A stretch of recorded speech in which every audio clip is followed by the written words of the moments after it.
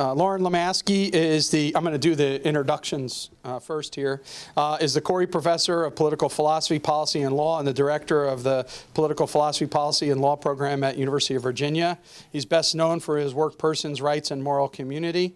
Uh, for those of us who are uh, in the public choice vein, uh, Loren also is famous for writing a book called Democracy and Decision, which developed the notion of expressive voting um, in a serious way, along with Geoff Brennan. Uh, Loren, before uh, teaching uh, at University of Virginia, taught at Bowling Green University, and before that at University of Minnesota Duluth. Um, Michael Clemens is a senior fellow at the Center for Global Development, and he leads the Migration and Development Initiative. Um, as many of you know, Michael's famous for identifying the trillion dollars lying on the sidewalk and uh, has been a, a, major advocate for uh, using migration as one of the great public policies for development and poverty alleviation that we haven't followed yet. And uh, so uh, we'll hear from Loren. And then we have uh, Jesse uh, Kirkpatrick, who is the Assistant Director of the Institute for Philosophy and Public Policy here at George Mason. Um, before that, uh, joining us here at George Mason, he was an assistant professor at Radford University and also a postdoctoral fellow at the United States Naval Academy. Um, so, uh, with that, I will turn it over to Loren, uh, and then you have 15 minutes to present, and then we'll go across the board there. And I guess since the way you're sitting, we'll go exactly the way that you're seated there. Okay? All right. So let's get started.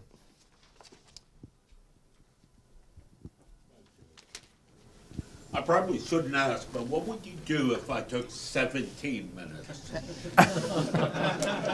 Charge you. What are the incentives? well, all right, good.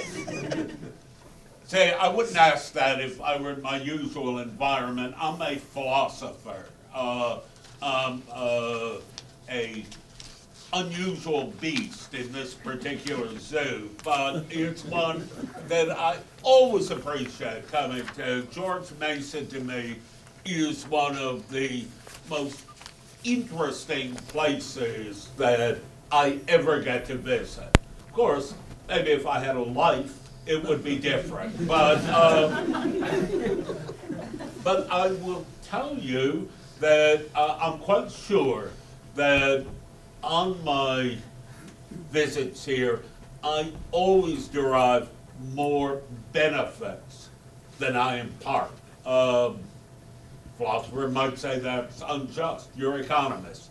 Deal with it. so uh, uh, in order to make sure that this holds true, and I do get more benefit than you do, I'm going to try to be quite brief here. Normally, if I stand up, I don't stop talking for 15 minutes. Uh, but I will keep within the 15 today because you scared me. Um, I want to say a little bit about the project of this book.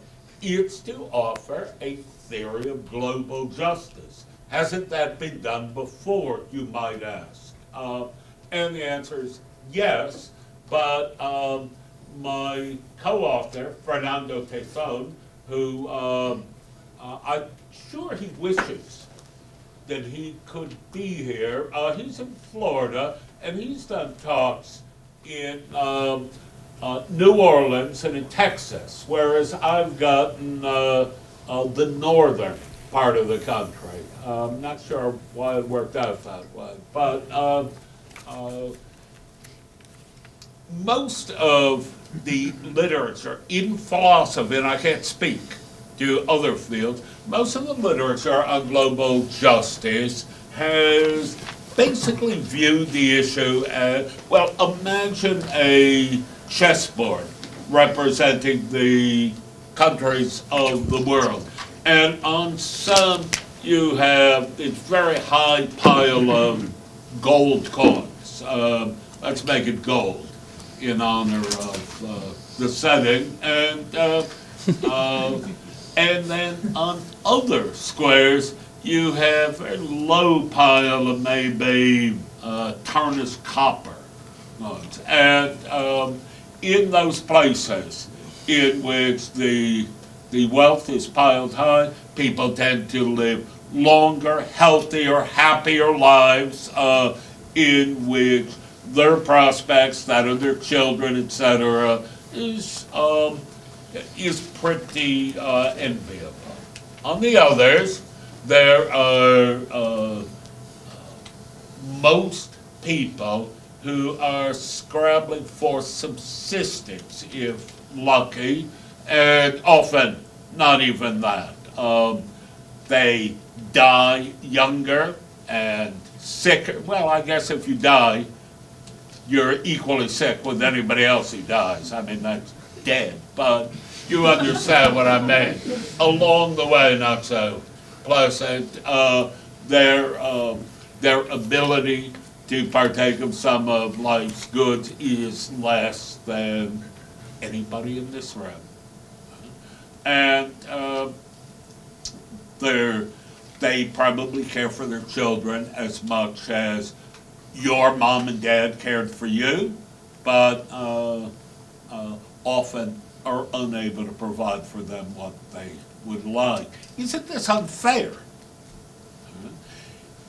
Doesn't it almost leap out at us saying uh, something ought to be done about this? And in the global justice literature, what is done here, what's advocated, is you take some of the coins that are piled up high and comfortable and move them to those who have little. That is to say, the issue of global justice, or rather global injustice, is one of wrongful distribution.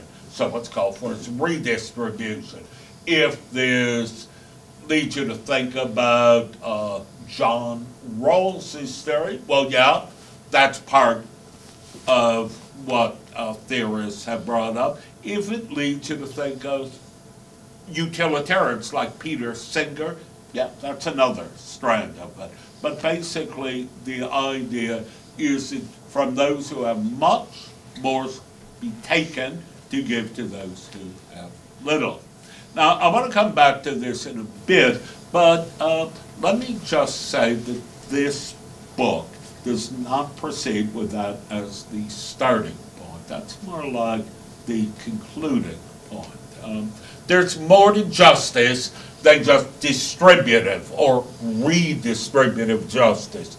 We could talk about the difference if you'd like. Uh, but in the tradition to, of which I'm and to I'm partial, uh, justice involves respect for individuals' rights. What kind of rights? Well, my boss at UVA uh, phrased it as life, liberty, pursuit of happiness.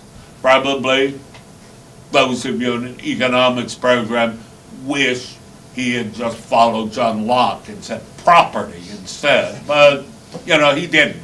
But he became president.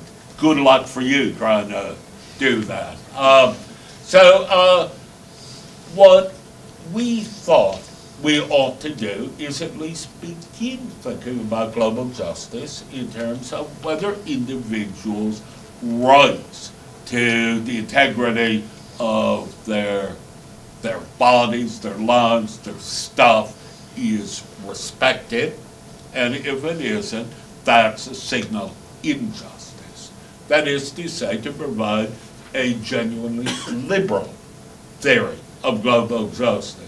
Now, it might surprise you, but I think that before we wrote this, you uh, know, basically did not have a, a niche in this particular literature. But of course, um, that's a philosophy literature, and I've been learning in my short time here today that economists have said other things that um, that are really useful in this regard, and that's part of what I mean by saying that I benefit more coming up here than I provide to others. But that's a that's a, a digression. Um, if it's the case that these vast disparities in well-being are due to genuine rights violations, then there really is a strong case to be made that the uneven chessboard manifests great injustice across the globe. My co-author and I, after examining this, uh, come to the conclusion, yes, that's right. Uh, that glo- that injustices of great disparities of wealth versus streams of poverty are unjust, and that these injustices can be identified not simply in terms of these outcomes, but the inputs to this, what brings it about, and that uh, the world's poor have been uh, hard done by. Not, however, by the usual culprits who are hauled out at millennium conferences and in the pages of the social justice theorists, but overwhelmingly by their own governments and institutions. Um, if you if you do even a cursory examination of the really unfortunate um, environments in the world, overwhelmingly uh, those who suffer these burdens are the are victimized by domestic forces. Um, some are obvious. How could North Korea, say, not be on such a list? But, but uh, even in in countries that you know are not quite so horrific, uh, violations of liberty and you know life are manifest. Now we can go into details of this later if you want. Uh, but let me turn away from that to us, to and uh, by the way, in this literature, when the first person plural is used, we have a duty. Always, it means um, citizens or governments of wealthy Western countries, especially, of course, the United States. Uh, are we um, complicit in injustices done across borders? And the answer, I'm afraid, is yes. Yes, we are. It is a gross mistake to suppose that we are the primary perpetrators, but we make bad situation worse. That um, that the misery of the world's least well off at the margin. You, I love being around a place where I could say at the margin um, is enhanced by uh, the policies of OECD countries and the like. Uh, in this book, we talk about several ways in which that's true. Let me just mention maybe three of them. There are others that could go into also. One concerns harms done by uh, restrictive trade policies. We believe that uh, capitalistic acts between consenting adults, as Robert Nozick put it in his wonderful phrase, uh, involves a, uh, a just liberty of all peoples, and that's true whether or not these acts cross borders. And so restrictions on trade, things like, you know, like quotas, uh, uh tariffs, and so on, are by their very nature unjust. Um, and so, for example, to the extent that, uh, that we hold up such barriers, that, yep, uh, this constitutes an injustice. Now, of course, as you know, just recently, a pretty significant trade pact uh, was uh, realized, well, was uh, agreed to, whether it'll be signed off on by all parties across the Pacific remains to be seen. Um, I thought at the time this was probably a good thing to do, but then I saw that it was rejected by both Hillary Clinton and Donald Trump. And what are the chances that they could both be wrong about an important issue? uh, now, I might have to rethink this, but before that happened, my view was that this this is the sort of the sort of uh, intrusion on uh, others that we ought to be kind of ashamed of. Um, okay. Second, talk about aid. Um, uh, since the war, and I mean since World War II, uh, uh,